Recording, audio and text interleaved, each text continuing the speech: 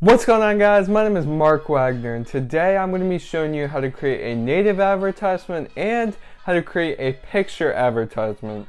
This video is part 3 of 3 for my how to create a dropshipping advertisement series so be sure to watch the other two videos when you're done with this one if you have not already. Without further ado, let's get into the video.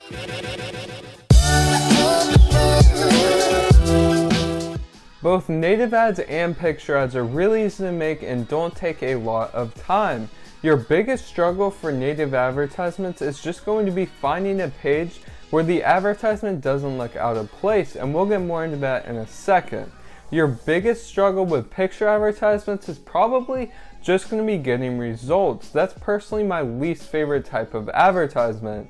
When you're making a native advertisement, you don't want the fact that it's an ad to be obvious.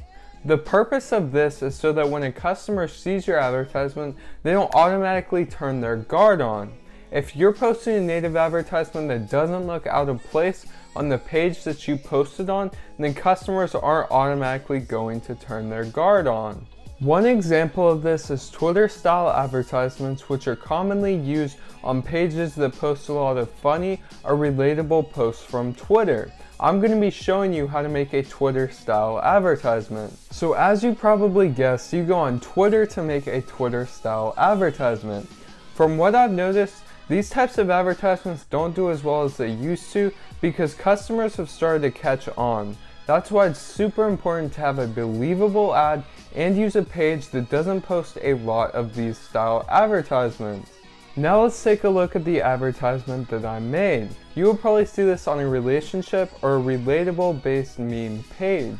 Notice how I didn't talk about the sale, I didn't talk about the product, I talked about this from a customer's perspective which really gives you a different angle and a super effective one when using this type of advertisement. Now let's talk about picture ads. I don't run too many of these so I can't talk from too much experience but what I can recommend is that you use photos of the product in use. Don't use pictures of the product just laying on the ground and definitely don't use pictures of a stock photo of the product with a white background. Here are some good examples of picture ads.